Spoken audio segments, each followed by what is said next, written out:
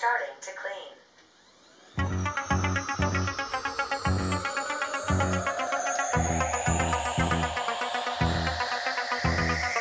Roborock S7 is the latest company's robot vacuum cleaner with an upgraded sonic vibration mopping technology.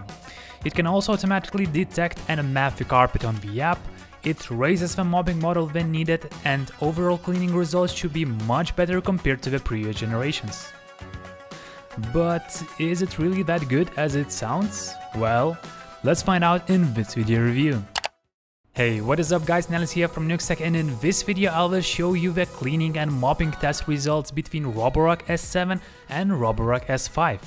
Also I will go through the latest features, share my personal insights after one month of use, and finally I will give some recommendations regarding which robot vacuum cleaner you should buy. So smash that thumbs up button, subscribe if you haven't done it yet, and without further ado let's get into it.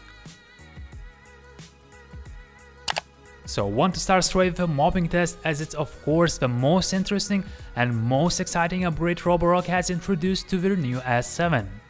Now, as you might know, all the previous Roborock models have a regular mopping feature which is sufficient for basic surface level cleaning, but it will struggle with more complicated dried stains.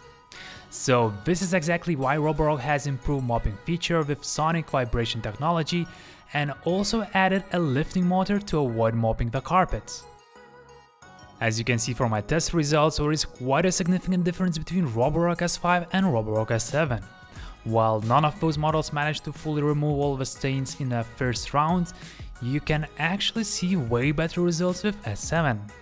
In the second cycle, the difference was even more visible and within a third round, Roborock S7 has successfully finished the job in almost a perfect way. Unfortunately, the older generation Roborock S5 was desperately moving around and still left a dirty floor behind it. It's also worth mentioning that on Roborock S7 you can not only choose from different water flow settings, but also select either you want a regular or deep mopping. In case you select the deep mopping mode, the vacuum cleaner will make more narrow zigzag patterns and cover the same spot for two times. That of course will consume more battery, however it will give you better mopping results. Now let's talk a little bit about this mop module raising feature which might be useful but not in all cases. Let me explain why. From the app settings menu you can actually choose what should the robot do if it encounters a carpet. The first option will raise a mopping module and vacuum the carpet without making it wet. This is the most recommended setting for low pile carpets and mats.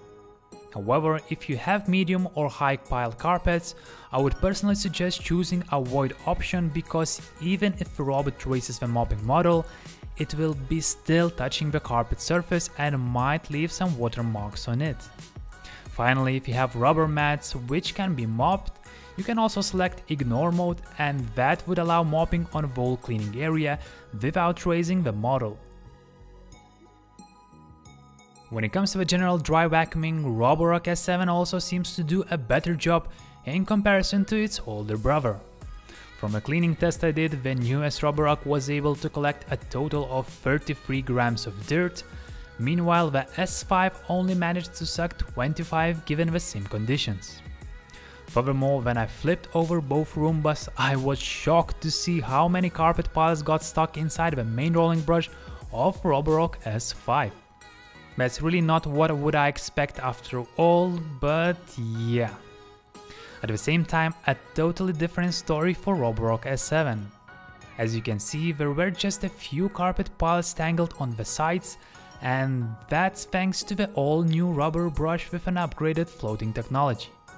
Despite that, I found some hard particles like rice and buckwheat stuck behind the brush, so that's not ideal of course, but it's only negative point I have to say regarding S7.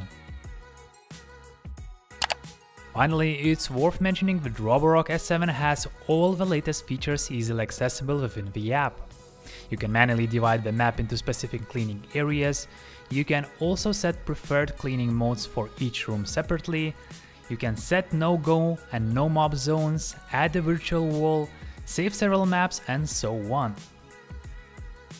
S7 is really a great all-in-one vacuum cleaner with nicely improved sonic vibration mopping feature and better overall performance. To make it even better, I would love to see some upgrades such as water level indication and AI cameras for obstacle avoidance which were used on the previous Roborock S6 Max V. I'm also really looking forward to testing the auto emptying station which Roborock should release later this year as it should be compatible with Roborock S7 lineup. If you currently own a Roborock S5 and you want to have some better mopping and cleaning results, less struggles with tangle here around the brush, I would say that upgrading to Roborock S7 is really worth it. However, if you want something more budget friendly, I could easily recommend Roborock S5 Max, which can be found somewhere around 300 euros or 350 US dollars. Check out for the latest discount codes and links in the description area below this video. And that is it. Let me know what you guys think about this Roborock S7 in the comments and if you liked this video please hit that thumbs up and subscribe for more high quality tech reviews. Thanks for watching, this is Nellis from NiuxTech and I will see you next time.